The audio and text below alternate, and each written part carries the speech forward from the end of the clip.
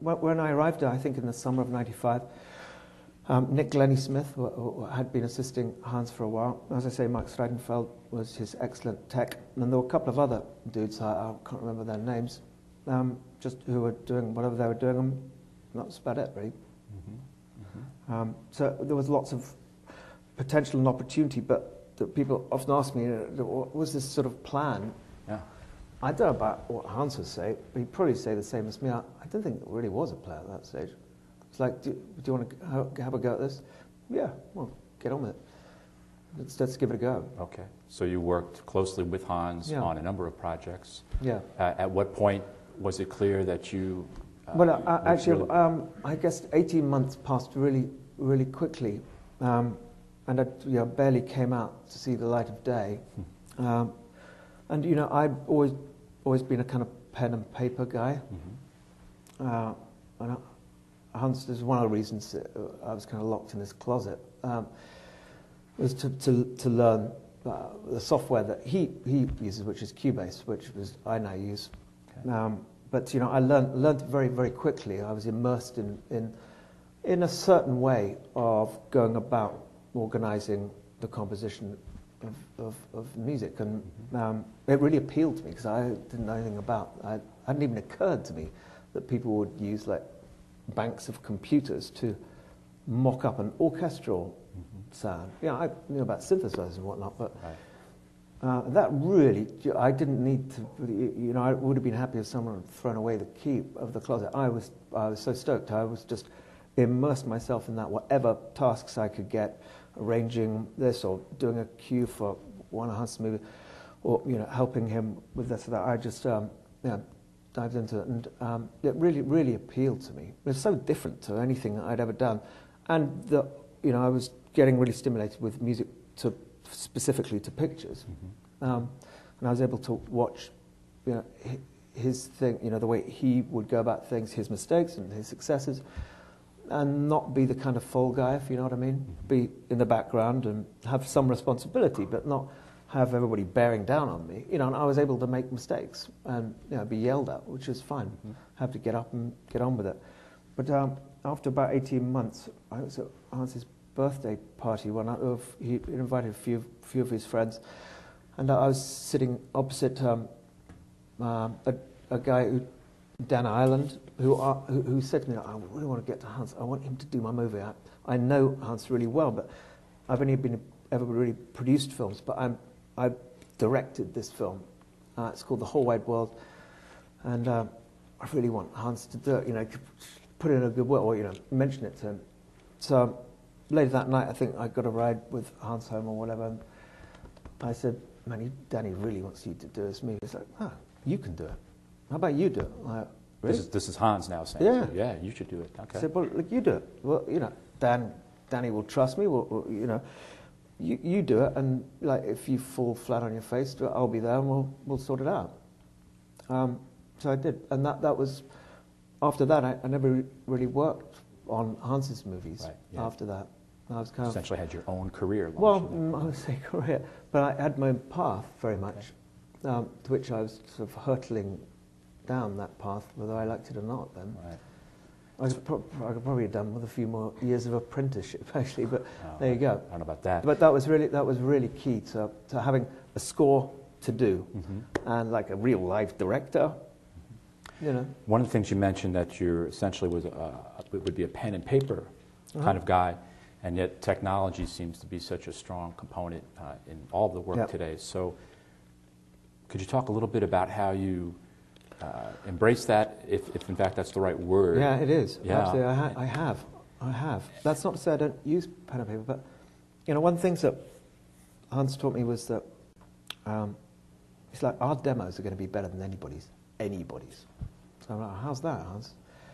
He said, well, forget the music for a second. We'll assume that the music's going to be right, but it's, they're going to sound fantastic. And, that, and this is what's got to happen. You've got to le- really, really work at programming, not just sloppily, but really, really, really intricately. Um, and coupled with that, he, he, he- at that time, uh, he decided to sample an orchestra. So I don't think many people had done that. Probably couldn't afford to do that. Right. But Hans did that, and I, and I, and I conducted it, which is a pretty gnarly task, actually. There's not much conducting to do. It's like the poor old fourth desk of the violas. Okay, C, mezzo forte, And they're playing. play, yeah. And then D. It's and cueing, then, right, yeah. right. So, so having done that, I was like, okay, well, you, you can have the samples Mm-hmm. because they're not publicly available. So, really good sounds, a really sound knowledge of the platform that I was using, which happened to be Cubase. It could have been Logic or any of these things. Right. Um, but I had a couple of fundamental problems early on, which was in order to play Hans samples, you needed like 20 samplers. I couldn't afford that. They were so expensive at that time. And I think things have, have cheap, cheapened up, but I couldn't afford that. So that, the next thing was to get a bank loan, which I did. And uh, on on the premise that, you know, that, that would probably probably be smart. To, I mean, I, I, I couldn't partake of this thing because the, the samples were so huge in, in, in uh, you know, volume. It required all these. So, so anyhow, all these obstacles were thrown away, but um, one just got on with it. And uh, so now, fabulous sounding orchestra in front of me. I mean, it's just so stimulating, absolutely. Stimulating. I mean, I'm sure these days one can, one can buy it. They're probably reasonably expensive, but there are orchestras like that orchestra I'm referring to available. Absolutely. You know, other people have gone out and, and done that. But uh, Right. that was really, really stimulating. For, I don't think I could have really shut myself away for so many months that turned into years. Mm-hmm. If, if like everything sounded crap, even if I knew it was gonna sound great with, with the live orchestra, Right. I just wouldn't have, wouldn't, just wouldn't have been any fun. Right. I think a lot of young composers today fall into a reliance on the technology, and it doesn't always sound that good. And yet you have managed to, to really have both. You, you're mm-hmm. brilliant as an orchestral writer. You know the orchestra. You know how to make the orchestra sound really good. And at the same time, the way you work with technology is truly second to none. You know, we were talking think earlier one- about you, you literally have defined a genre in terms of combining orchestral writing with the technology that's available today.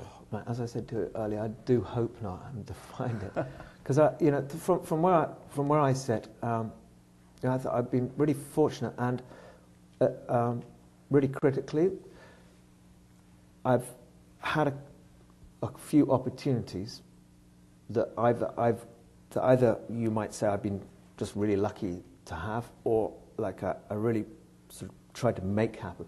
Anyhow, it doesn't matter how one gets there, perhaps, but once an opportunity pops up to really, really, ne- you know, really stop at nothing to, Right. to go for it, Right. and then try and, you know, try and maintain that, if not build on something. But from from from my perspective, I, I'm always, um, you know, looking forward and up, and that's one of the things.